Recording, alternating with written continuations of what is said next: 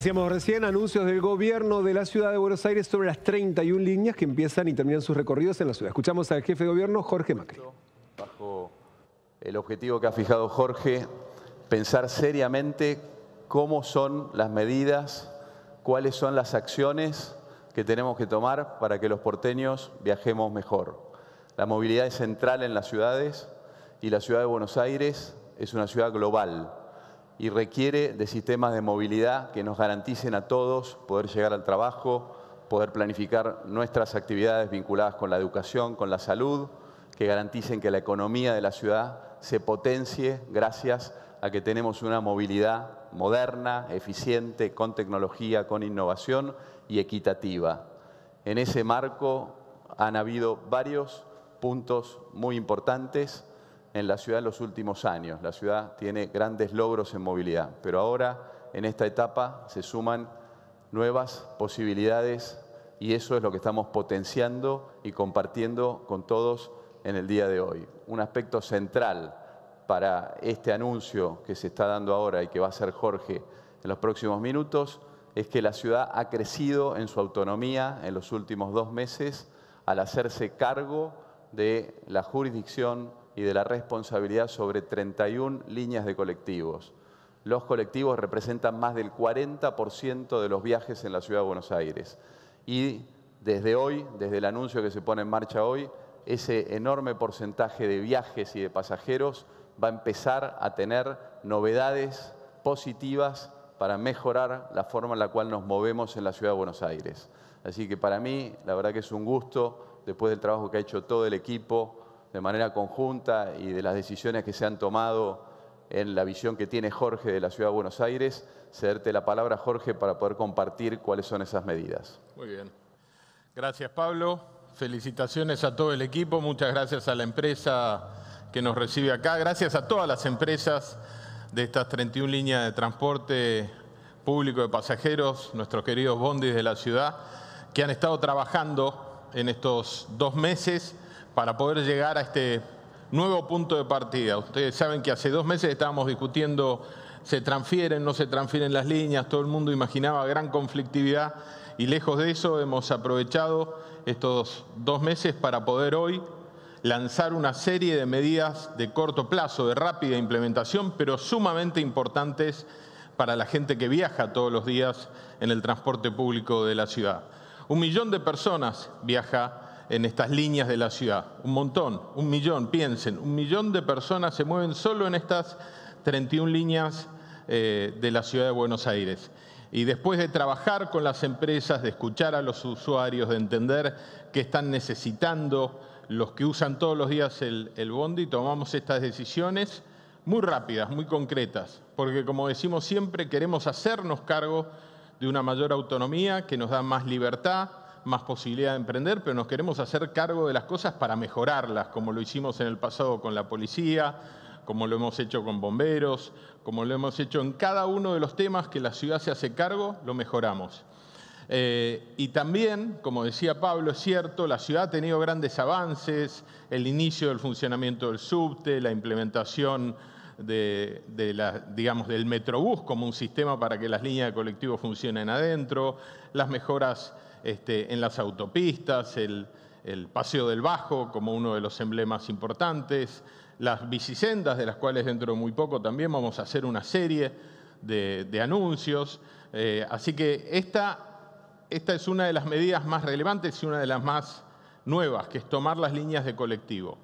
Eh, y en esa línea queremos, como siempre hacemos, elevar la vara, marcar estándares de calidad que marquen una diferencia que entusiasmen eh, al resto de las jurisdicciones a implementar muchas de estas medidas. ¿Qué vamos a mejorar? Y acá vamos directo a los anuncios de lo que vamos a estar implementando en cinco áreas concretas en los próximos meses. Primero, más seguridad. En los próximos tres meses los colectivos tendrán todos cámaras de seguridad en su interior. Esto es algo que se ha hablado muchas veces, que se ha prometido muchas veces, pero lo importante es que además esas cámaras estén conectadas con nuestro centro de monitoreo. Eso es más seguridad para las empresas, es más seguridad para quienes trabajan, para los choferes que hacen un trabajo excepcional todos los días, pero también para los pasajeros. También en esa línea de seguridad vamos a aumentar los controles de alcoholemia y narcotest a los choferes, porque también es una manera de cuidar a los que trabajan bien y al resto de la sociedad en general. Queremos mejorar su seguridad laboral y la de los pasajeros y la de la vía pública en general. Entonces dijimos, primera, seguridad. Segunda, más tecnología. Para facilitar el acceso al transporte, el uso del transporte, implementamos un sistema multipago, lo mismo que estamos haciendo en el subte y que ya en varias estaciones están, están viendo. Los vecinos van a poder viajar en nuestros queridos bondis no solo con la SUBE, sino también con el celular, tarjetas de crédito, tarjetas de débito. Esto es una manera de facilitarle la vida a la gente, al turista, al que viene del interior, al que no es usuario frecuente del, sistema o se olvidó la SUBE. ¿Cuántas veces pasa que me olvidé la SUBE y le tengo que pedir a alguien que me deje subir este, y usar el servicio, que me deje pasar su sube, yo le tengo que dar la plata. Bueno, todo eso se acaba con la modernidad que nos permite lo que ya estamos haciendo también en subte. Que un turista se pueda subir a nuestras líneas de colectivo, este, facilitarle el uso a todos. Más calidad y confort. También desde el primero de enero van a solamente circular líneas de colectivo que tengan un máximo de hasta 10 años. Esto va a obligar a la renovación de 241 vehículos de la flota de alrededor de 1.800 que tienen estas 31 líneas. Agregado a esto, pero que también va en línea con un tema de seguridad, pero de seguridad vial, conducción inteligente, lo llamamos. El año pasado, por incidentes de tránsito en la ciudad de Buenos Aires, fallecieron 100 personas. Y queremos bajar ese número, no, no queremos repetir ese número. Y obviamente no todas esas tienen que ver con incidentes vinculados a líneas de colectivo, pero queremos ayudar a los choferes a que trabajen cada día mejor. Para eso le vamos a pedir la incorporación de lo que se llama ADAS, que son sistemas de sensores externos que le avisan al chofer ante la cercanía de algo que sea un riesgo. Adelante, atrás y en las laterales. Ustedes saben que muchas veces cuando nuestros colectivos giran hay puntos ciegos y tal vez no, pueden, no detectan este, una persona, una persona que va caminando, una bici, o el descuido de esa persona hace que las dos cosas sean este, parte del problema. Bueno, tener esos sensores externos nos van a permitir evitar muchos de los accidentes que ocurren, de los incidentes que ocurren y que tienen que ver con colectivos y sobre todo con esos puntos ciegos. Eh, y lo que es importante es agregar más sustentabilidad en sintonía con lo que se está haciendo en el mundo y donde nuestra ciudad todavía tiene una deuda importante. Vamos a implementar buses 100% eléctricos en la línea nueva que estamos implementando desde eh, Plaza San Martín hasta Parque Lezama, probablemente después se extienda ese servicio hasta La Boca. Son buses de mediano porte que van a poder recorrer nuestro centro histórico pero más allá de esa incorporación de estos buses eléctricos, por ejemplo, algunos de estos buses que ustedes ven con techo muy alto ya son de GNC, o sea, nos permiten una transición energética también este, al gas, que es un recurso que también la, Argentina tiene, así que las empresas irán definiendo, pero queremos acompañarlas también en esta transición energética que requerimos en la ciudad de Buenos Aires. Con estos avances, eh, que estamos implementando en los, en los colectivos de la ciudad, queremos también contarles algo que para nosotros es muy lindo, que es el cuidado del patrimonio del fileteado, algo que ya hablamos en los buses turísticos. es difícil que alguien no sepa de qué se trata el fileteado, pero son esas líneas muy artísticas que arrancaron justamente en esta zona, La Boca, Barracas, en las viejas plantas de carros o de carrocerías. Era un arte originalmente ejecutado por los hombres dentro de esas mismas fábricas, muy distintivo del transporte de la ciudad, que después se incorporó a los viejos bondi, a los viejos colectivos. Yo me acuerdo en la línea 113 que llegaba yo hasta el colegio, eh, tenía fileteado y fileteado interno, además de un espejo con biselado. Así que recuperar eso que es un patrimonio este, artístico y cultural de la humanidad, reconocido por la UNESCO, también es otro de nuestros objetivos, porque uno puede tener mucha modernidad, pero también puede cuidar lo que es un patrimonio cultural como este. Así que queremos que este plan integral de movilidad del que hablaba Pablo le facilite la vida a la gente de la ciudad de Buenos Aires. Queremos promover zonas como esta, el sur, con llegada de más colectivos y mejor eh, conectividad.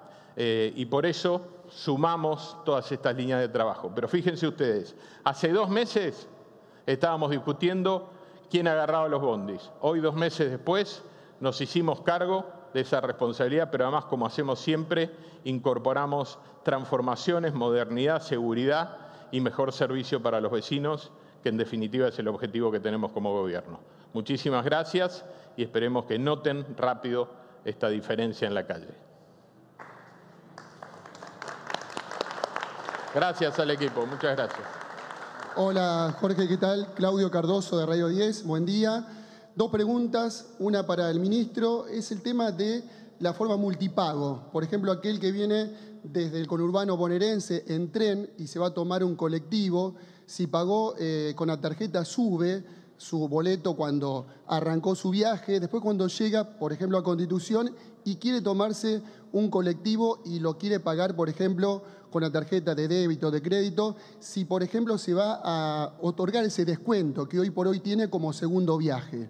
Y al jefe de gobierno porteño, a Macri, eh, siempre habla de objetivos, de metas, lo explicaba hace muy poco tiempo en el área educativa en la ciudad de Buenos Aires. Eh, ¿Con qué se encontró en el área de transporte aquí en la ciudad y al cabo de prácticamente un año, cuáles son las metas y los objetivos fijados? Bueno, primero, los dos sistemas van a convivir, el de multipago y sube, pero seguramente después Pablo va a extenderse en esa, en esa respuesta. Nos encontramos con un sistema mucho más profesional de lo que la gente puede imaginar. Las empresas de transporte en general tienen un compromiso muy alto. El sistema de subsidio por kilómetro es malo eh, porque no da un incentivo a ir buscando los mejores horarios, los mejores recorridos, poca flexibilidad. Hay empresas que te dicen, mira, me convendría cambiar tal o cual recorrido a tal lugar que hoy no tiene bondi y nos estamos pisando con dos o tres líneas, pero claro que todo eso lo maneje Nación hacía que era muy difícil encontrar el detalle, la mejora. Además la ciudad va cambiando. Por ejemplo, el subte llegó a Parque de los Patricios y las líneas de colectivos llegan a los mismos lugares que antes.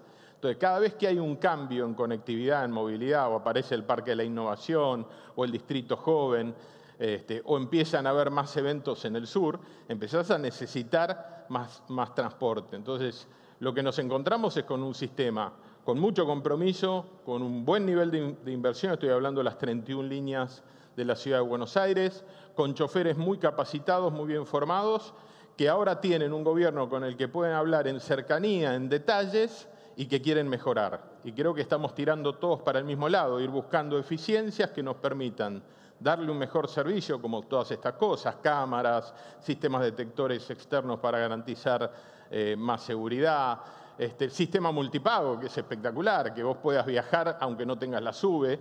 Este, y la verdad que lo hemos hecho, esta, esta lógica de buscar una identidad única para que la gente sepa, estos son colectivos de la ciudad y van a tener este estándar de accesibilidad, de modernidad, de seguridad. Y después la gente elegirá. Eh, yo me acuerdo este, cuando iba al cole, por Avenida Las Heras tenía varias opciones de cómo llegar a, Barranca de Belgrano. Y a veces te tomas el que llega primero.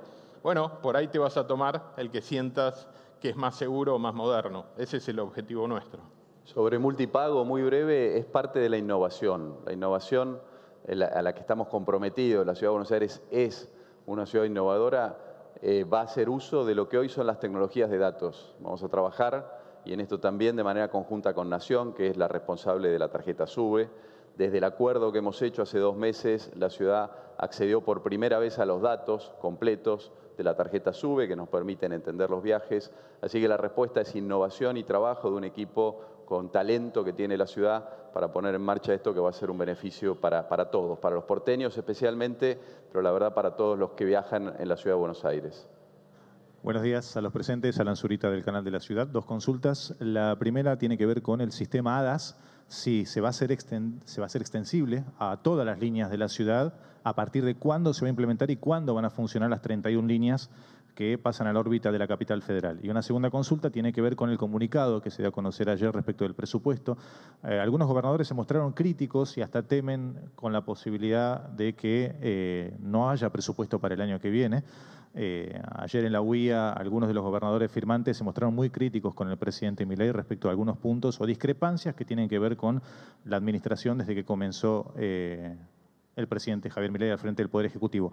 ¿Cuál va a ser la posición de la ciudad respecto de ello? ¿Qué puntos criticables tienen sobre el presupuesto y cómo van a accionar o qué va a suceder en caso de que ni siquiera se discuta el presupuesto en extraordinarias? Gracias. Bien, ¿querés contestar primero? sobre el tema HADAS, e, este plan, las medidas que ustedes eh, escucharon recién, algunas muy rápidas, primero de enero los colectivos todos van a tener menos de 10 años de antigüedad de las 31 líneas. El resto de las medidas, incluyendo HADAS, más innovadoras, más tecnológicas, seis meses. Estamos trabajando con las empresas. Estos son un conjunto de incentivos y políticas nuevas. Para algunas de ellas son más de 20 empresas. Así que el trabajo va a ser conjunto y en seis meses tenemos que lograr, en algunos casos va a ser más rápido, que estas tecnologías estén todas operativas. Sí, de hecho, por ejemplo, estas unidades que ustedes ven acá ya tienen cámara interna este, tienen hadas adelante y atrás, faltaría tal vez el, hadas lateral, eh, y lo que nos falta es conectar esa cámara con nuestro centro de monitoreo, pero en, este caso esa puesta a punto de modernidad se va a lograr muy rápido. Respecto al presupuesto, yo creo que para el país es importante tener presupuesto. Eh, obviamente siempre la discusión de un presupuesto genera eh, el ejercicio de la búsqueda del acuerdo, tensiones, puntos de vista comunes, diferencias. Me ha pasado siempre en la gestión. Muchas veces he tenido que gestionar este, en minoría eh, y tener que buscar esos consensos. Pero a mí me parece que para un país que ha logrado ordenar su macro, que está logrando no tener déficit, que ha bajado el riesgo país, todos estos gestos para el mundo muy relevantes y que van teniendo su efecto en la economía de la Argentina, es importante también tener presupuesto, porque si no el mundo va a mirar y va a decir, pero espera, ¿Cómo es esto? Todas estas buenas noticias quedan medio en el aire en función de no tener un presupuesto, pueden percibirlo como un disvalor. Así que yo creo que es importante tratar de trabajar y el PRO va a estar en esa línea, nosotros vamos a estar trabajando en esa línea, tener presupuesto. El gobierno irá, irá definiendo, definiendo el tiempo, puede ser en extraordinarias también, hay que trabajar todo el verano, así que nosotros vamos a hacer lo mismo. Última pregunta, Buen día, Daniel Castaño, TV Pública. Eh, gobernador, si me permite dos preguntas. La primera más práctica. Eh, la calle a veces es una jungla donde todos participamos de una manera u otra. ¿Cuánto piensan bajar los accidentes con estos sistemas de, de sensores que le van a poner a los ómnibus, si ya está estudiado? Y la segunda, todas estas mejoras que usted acaba de anunciar, eh, de alguna manera son como un cambio de paradigma en lo que es el transporte. Y mi pregunta es si usted piensa trasladar esto a todo el transporte de la ciudad, si es la idea suya o el proyecto eh, de su gobierno. Y ligado a la pregunta anterior del colega, eh, ¿cuánto incide esto en el presupuesto en momentos como este, donde tanto se está discutiendo el presupuesto nacional? Gracias. Bueno, un montón de preguntas. pensé que como somos casi de la misma generación, te habías este, emocionado con el fileteado, pero no me dijiste nada del filete. Este, que es muy lindo. Eh, a ver, nosotros lo primero que estamos buscando es eficiencia. La mirada cercana de un gobierno cercano que trabaje con las empresas nos puede permitir identificar una situación típica. Déjame que te la describa. Dos bondis, ustedes lo ven, dos bondis de la misma línea, uno atrás del otro, uno tiene dos personas adelante, tres, tres en el de atrás. Eso es congestión de tránsito, es ineficiencia para la empresa, es la necesidad de sostener subsidios más altos, porque si el colectivo va más vacío. ¿Y por qué es eso? Porque la reglamentación dice cada tantos minutos sacame una unidad. Y por ahí no es necesario eso, y para eso hay que mirar en detalle la gestión, buscar esas eficiencias, y eso no le quita servicio a la gente. Es más, descomprime la calle. Esa calle por la que pasan de golpe dos colectivos juntos es más compleja, ni, hablar si además estás en el centro de la ciudad y tenés que cruzar este, una vía de tren, como te puede pasar en zonas de flores. Entonces, empezar a buscar esas eficiencias no es en contra de nadie, no cuesta nada. La eficiencia tiene esa, esa magia. que es que lográs prestar el mismo servicio sin que te cueste más. Y esa es parte de la responsabilidad que tenemos lo que gestionamos. No es quitarte servicios, es lograr un servicio de mejor calidad, pero que cueste menos. ¿Se puede lograr eso? Parece magia. Miren, en un país estabilizado, gestionando con seriedad, con creatividad, con equipos profesionales, se puede.